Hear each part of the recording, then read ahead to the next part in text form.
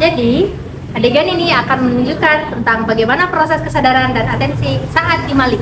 Silahkan menyaksikan.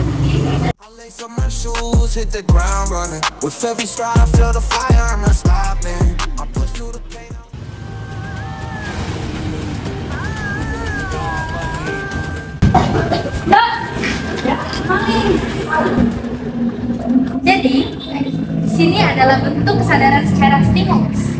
Mbak ini akan beritahu kepada Mbak ini bahwa dia sedang di Mali.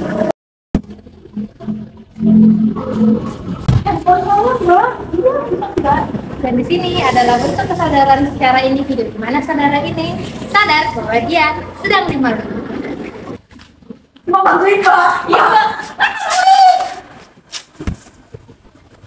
Dan di sini adalah proses atensinya, di mana saudara ini mengajak saudara ini untuk mengejar maling tersebut.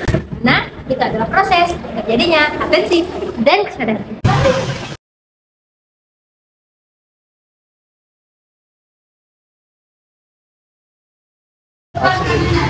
di ruang jual kafe malam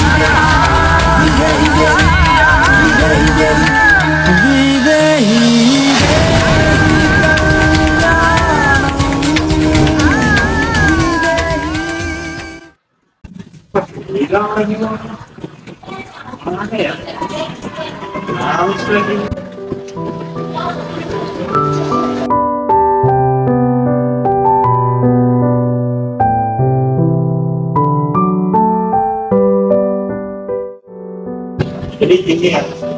Apa itu ya